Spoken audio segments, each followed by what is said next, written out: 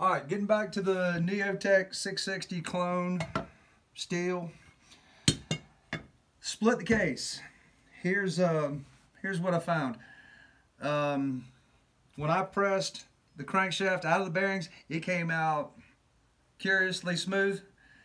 Um, I measured the crank journal here and then matched it to an OEM and it looks like it's about a half a thousandths smaller in diameter on both sides, both flywheel and clutch side. Um, here, let me bring you up here.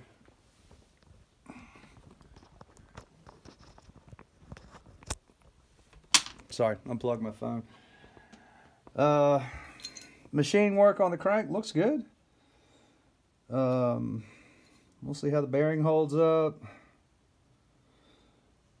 Threads look good. We'll probably use some Loctite 620. It's like a sleeve sealer. Um, it is resistant to oil and gas um, and has held up on a couple other repairs that I've done when a bearing has slightly slung, excuse me, spun in the pocket. Uh, the good news is, is that when they machined out the bosses for the bearing, that is a nice interference fit. I mean, perfect. You pressing these out of there, uh, you couldn't tell any difference. It is a nice, snug, secure fit.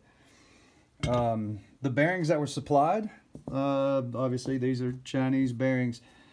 There's no marking on the proprietary type clutch side bearing. Uh, this one just says HCH on it. Uh, both of these bearings are nice and smooth. Uh, nothing wrong with them at all. Um, these seals, the rubber feels really nice. Pliable, firm, I think they're good seals. Uh, what else we got? Oh, here's here's something cute just to show you. This will take a second. Make sure we're set back up here. So I'm going to throw just a little tiny bit of heat at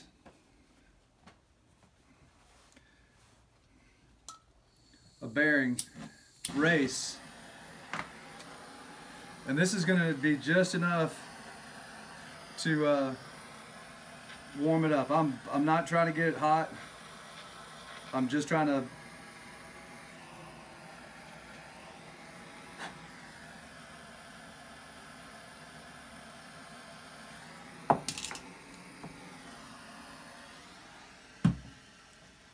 All right, so I can still hold this in my hand. It's warm maybe 120, 30 degrees.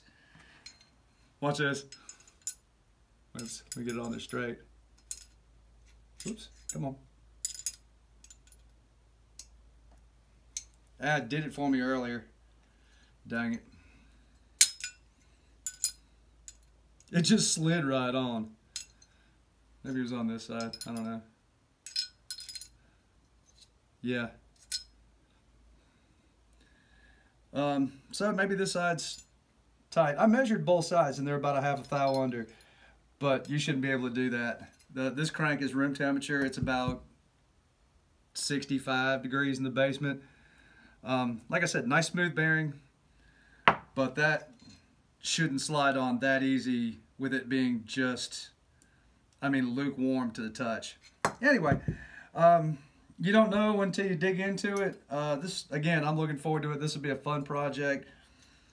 Uh, we we'll probably clean up the casting on the crankshaft a little bit, and then one last thing that I did notice. Um, this paint really isn't bonded very well at all to any of these surfaces. It just flakes right off. Um, you can see right there um, and then up here. So what we may do is put a little bit of paint thin. I, I don't know. We'll find something, some uh, some paint remover or something, and maybe I'll get all of this paint because I don't want this chipping off afterwards. Bearings don't like to have any kind of debris in them. Um, but like I said, uh, good news on the crankcase. Both of these pockets are perfectly sized. You know, good, good interference fit for the bearings. The bearings that, that came with this chainsaw are seem to be pretty good. Um, that's what I got. Thanks a bunch. And uh, this is about as far as we'll be able to go until I get uh, some OEM uh, uh, seals and bearings and everything else. I don't know. Tell me what you think. We can use these. But this is going to have to be cleaned up. I mean, you can, it's, that's not good. All right, that's enough for now. Thanks for watching.